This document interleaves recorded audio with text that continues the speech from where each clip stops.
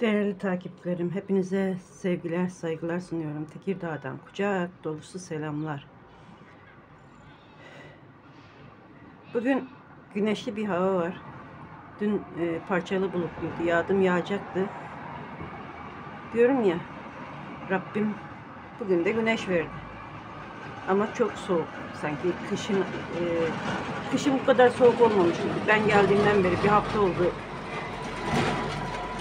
Cuma günü sabah üç buçuk gibi gelmiştik. Bugün de böyle güzel parçalı bulut bir hava var. Bakın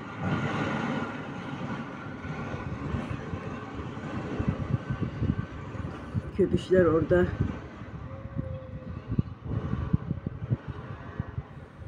Her tarafta yemyeşil. Her mevsimin ayrı bir güzelliği var, özelliği var. Kışın ayrı güzel, ilkbahar ayrı, yaz ayrı, sonbahar ayrı. Her mevsim ayrı bir güzel ve özel. Herkes, Rabbim her şeyi özenerek bezene yaratmış. Ben dün çamaşırları yıkadım. Ya, yağacak havalar diye odalara sermiştim. Böyle odada koltuk üstlerine atmıştım. Ama bugün de havalar güneş kurumuşlar. Onları katlayacağım. Burada da valizim gördüğünüz gibi hazır kap koridorda bekliyor. Bu niye bekliyor? Çünkü biliyorsunuz Sunay hastanede. Bana da ihtiyacı olur, koşa koşa giderim diye hiç her şeyim Celal Bey'in kıyafetlerini, bana da işte birer kıyafet valizim orada gördüğünüz gibi hazırlıyor. Gelin biz sizinle biraz sohbet edelim değerli takipçiler. Çok az bir vaktinizi alacağım.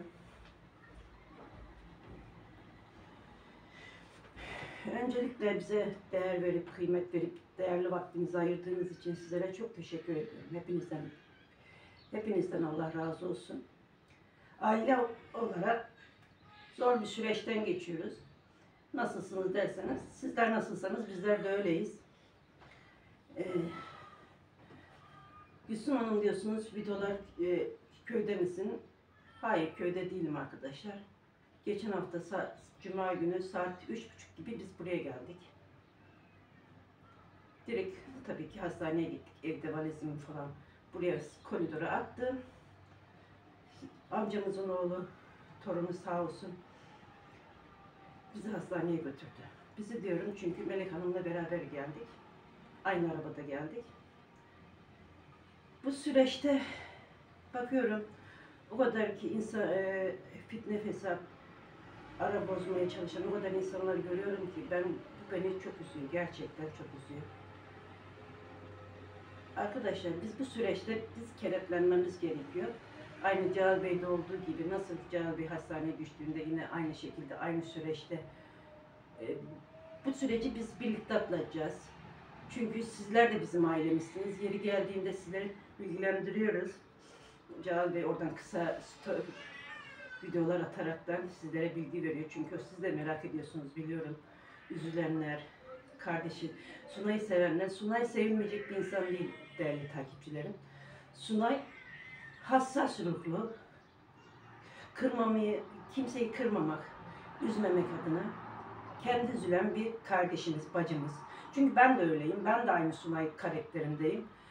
Ee, kimseyi kırılmasın, üzülmesin diye bazen kendimiz kırılabiliyoruz, üzülebiliyoruz. Bazı şeyleri içimizde yaşayabiliyoruz. Nasıl diyeyim değerli takipçilerim? Şimdi e, Semoş'tan da Allah razı olsun, sizlerden de Allah razı olsun, Melih Hanım'dan da Allah, Melih ablamızdan da Allah razı olsun. Çünkü e, herkes elinden geleni yapmaya çalışıyor. Herkes bir şeyler yapmaya çalışıyor ama bildiğiniz üzere de hayat devam ediyor. E, burada hastamız varken, cenazemiz varken orada karnımız acıkıyor, yemek yiyebiliyoruz bazen zamanlar oluyor ki. Acıyan yerimiz farklı oluyor, acıkan yerimiz farklı oluyor değerli takipçilerim. Ne olur bu konuda hassasiyetinize sığınıyorum.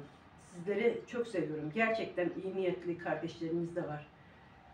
Hepiniz aynı kefeye koymam imkansız. Arayıp bulandırmak isteyenlerimiz de var. Biz iyi günde, kötü günde veyahut da iyi, bu günlerde kenetlenmemiz gerekiyor. Birbirimize destek olmamız gerekiyor. Burada şu anda Sunay'la konuştum sabah eşimle aradı, bilgilendirdi sağ olsun Allah razı olsun.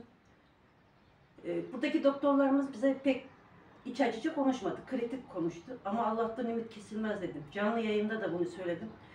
Ha, canlı yayını kaldırttırdım, ben kaldırttırdım ve bu kadar art niyetli insanlar yok şöyleydi, çocuklarına giydirmişler, gelinlerine giydirmişler, işte bunlara hiç gerek yok. Biz bunlara hiç gerek yok değerli dostlar.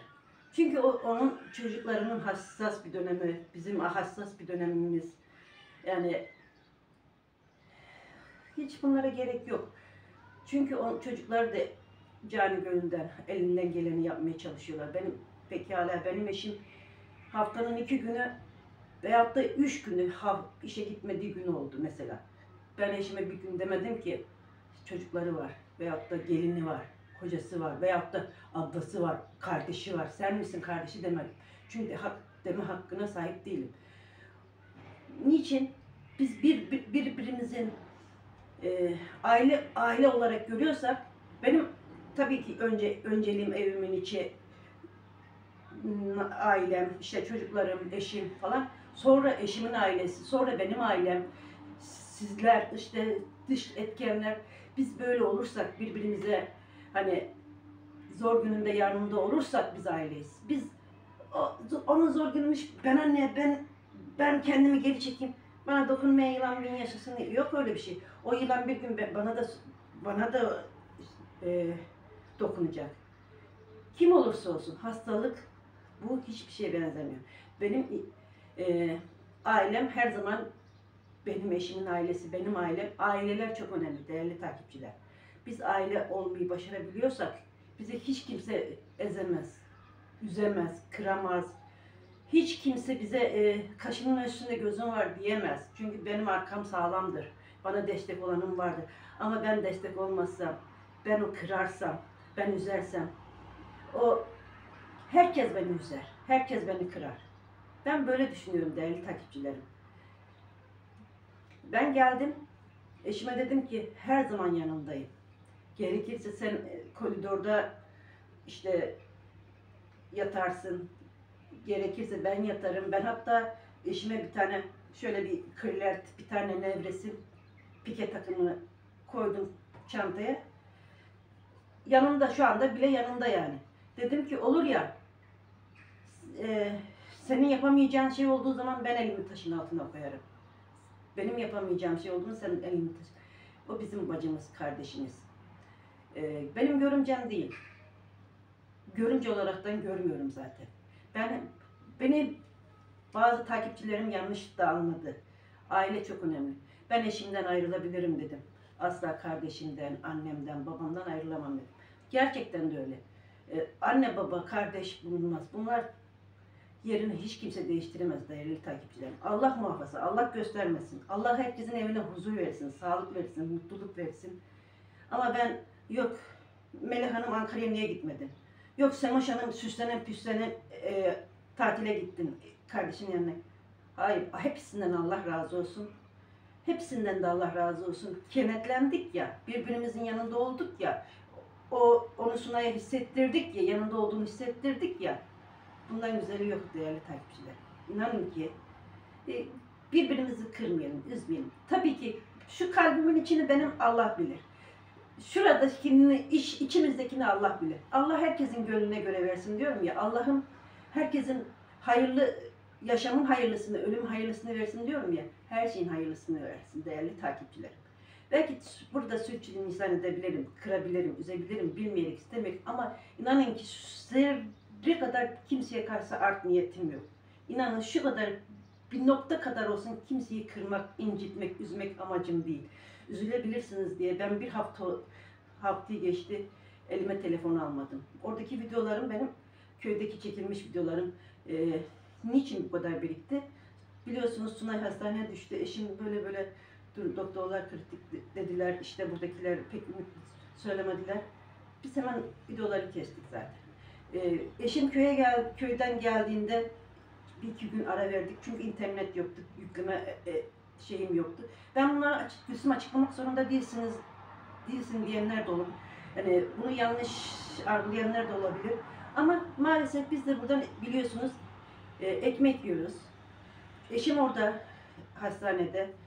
E, hep diyorum ya hani değerli takipçilerim konudan konuya değiştiriyorsunuz Gülsüm diyenleriniz olabilir. Biz plan yapıyoruz ama nasipse demeyi unutuyoruz. Ben mesela eşim köyden gelirken ni- niye plan, ne demişti? Hani eniştemi götürürüm arada bir 15 şey bir ay çalışsam iki ay çalışsam kurban, kurbanımızı keseriz. İşte Ram- bayram, bayram bayramımızı rahat geçiririz. Böyle plan plan yapmıştık değil mi? Ama planı biz yapıyoruz ama uygulaması Rabbimden. Biz önümüzü görmüyoruz. Yeter ki sunayımız iyi olsun, biz kurban kesmeyi veririz. Seneye nasip ederse Rabbim olur. Ama bu süreçte lütfen kırıcı olmayalım. Biz ailece gerçekten hassas bir dönemden geçiyoruz. Çocuklar dersen öyle bak. Şu anda gelin geline şeye gitti. Akşama zaman sabah doğuracak. Ee, kontrole gitti. Akşam ben eniştemin yanındaydım. Burada da eniştem var biliyorsunuz. Burada da büyük olaraktan da hani büyük Allah Allah'tan sonra ben onlara destek olmaya çalışıyorum. Arıyorum Gülüm eniştem nasıl işte e, yeme, yemeğini verdim yenge. Şöyle yaptım yenge. Allah razı olsun gelinlerimizden de gelin değil kız gelin evlatları ilgileniyor. Akşam gittim mesela çorbasını salatasını yapmış işte şekerli olacak şeylerden kaçırmaya çalışıyor. Ondan sonra mı, yenge dedi yarın biz dedi hastaneye gideceğiz. E, anahtarı falan yere koyarım.